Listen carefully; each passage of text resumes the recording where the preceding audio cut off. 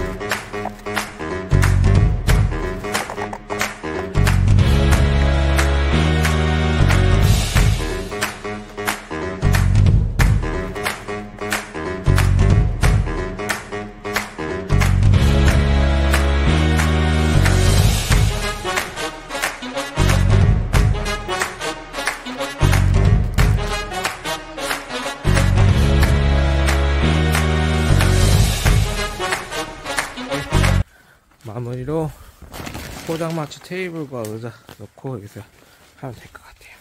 자, 구독과 좋아요 부탁드리겠습니다. 바이바이.